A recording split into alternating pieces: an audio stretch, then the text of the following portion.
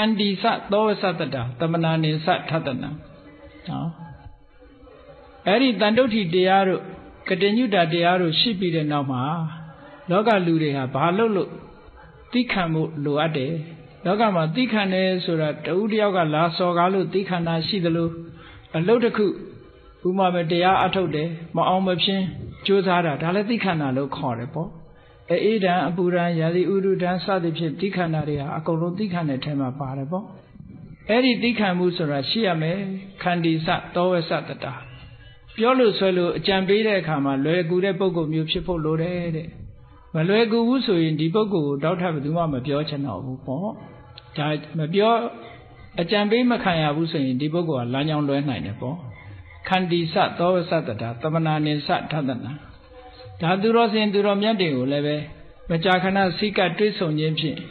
အမှန်တရားတွေကိုသိရှိနားလည်နိုင်တယ်လို့ဒီလိုဆိုလိုတာနော်